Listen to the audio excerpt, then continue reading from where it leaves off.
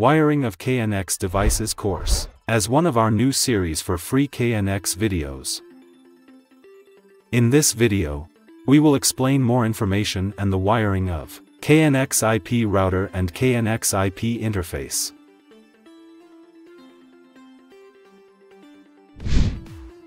KNX IP interface a KNX IP interface enables you to connect to and program the KNX bus over IP LAN.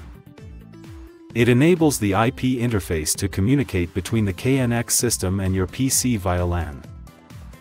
It supports direct tunneling connections and most of the KNX IP interfaces also support multiple connections being established at the same time. On the other hand, a KNX IP router that also allows you to connect to and program the KNX bus, can also be used to connect different parts of your KNX system together and communicate with them over the IP. So the IP router offers the same functions as the IP interface and more, as the device routes and filters messages or telegrams like a line coupler would. This is enabled by using an additional multicast connection that can manage the KNX traffic in a similar way a line coupler does. This multicast connection can also be used as a bus interface for programming and connecting external devices as well as third-party systems. KNX IP router and KNX IP interface have two connectors. The primary connector for connecting the LAN cable, and the second connector or secondary connector for connecting KNX bus cable.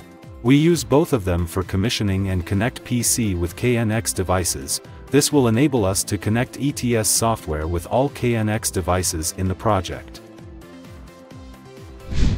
We will use MCB, to protect all electric circuits and smart devices. So the rated current of this used MCB should not exceed the, the rated current for KNX power supply and actuator output channels. Also the connected loads should be in range of this MCB.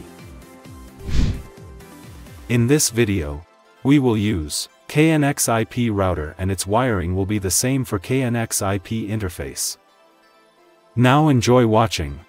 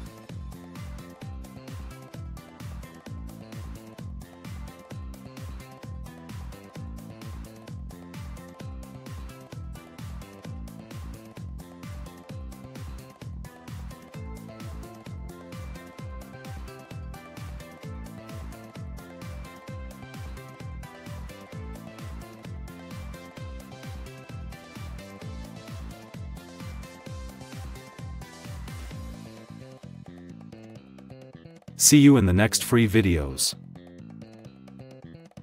Porto KNX. We make learning KNX free, simple, easy and attractive.